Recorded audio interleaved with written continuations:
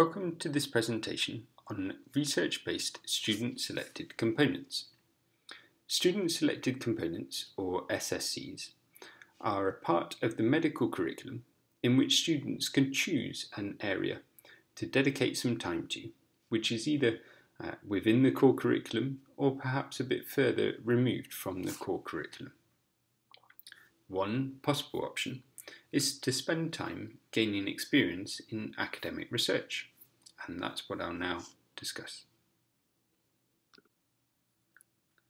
Clinicians are ideally placed to identify areas for improvement in healthcare, and making these improvements typically requires an evidence base to support them.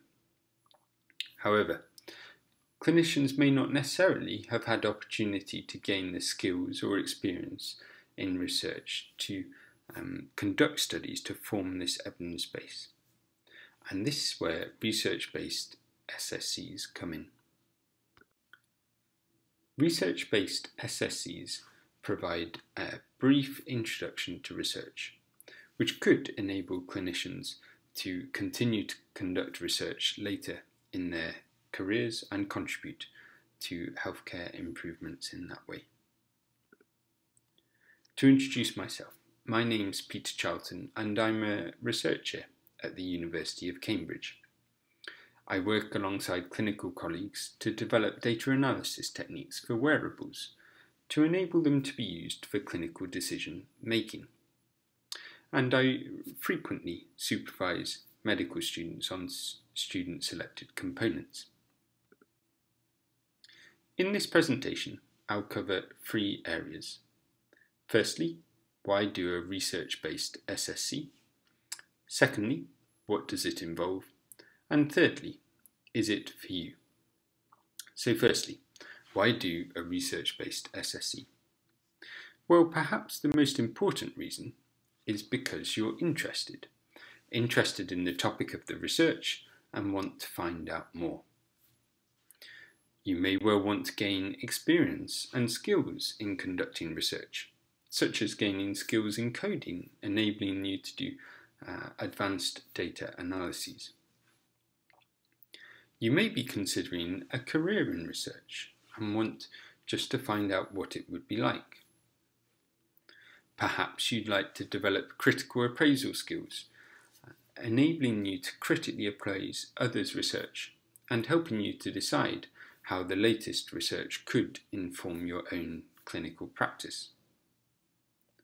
Perhaps you want to grow in confidence by being challenged to undertake a piece of research which requires you to learn new skills and work independently.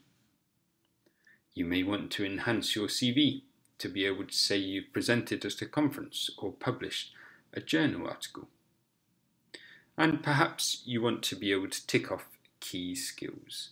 Uh, key skills such as a piece of medical writing, describing a literature search, giving a presentation, and writing an abstract, all of which could potentially uh, be conducted in a research based SSC.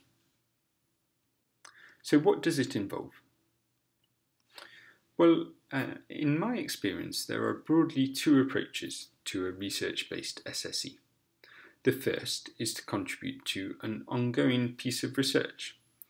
And to give you an example, Perhaps there is a systematic review, a large review being conducted already, and there's opportunity for students to contribute to that review, perhaps by screening articles for inclusion or by extracting data from some of those articles. And by working as part of a large team, it's possible to complete a really very helpful review. The second approach is quite different. Um, and this approach is running your own research project. And this is the approach that I tend to take when supervising SSCs. So I'll go into a bit more detail about this one. To illustrate the process, here are some example tasks which I would ask a student to undertake when running their research project. And the tasks go right from the preparation of the project through to planning, conducting the experiments, and then disseminating the findings. so going through all the different stages of a research project. So the preparation, the tasks which take place before the SSC starts. Project planning, discussing with potential supervisors what you might do. Pre-reading, finding out a bit more about the subject, perhaps identifying particular areas of interest to you. And establishing learning objectives, having a think about what it is you want to get out of the project and discussing this with a potential supervisor. When it comes to the SSC actually starting, then there's more opportunity to plan the experiments in greater depth. And this could start with a literature review to establish the state of the art in the field and understand how you could contribute to moving the field forwards. Developing a research plan, perhaps an outline of the experiments you'll conduct how they will answer uh, your chosen research questions.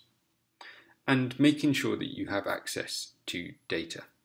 Um, it's unlikely that within the time frame of an SSC that there will be sufficient time to set up prospective data collection. And so often research-based SSCs make use of existing data. Having gone through the planning, then the bulk of the time may well be spent on conducting experiments, uh, perhaps data analyses.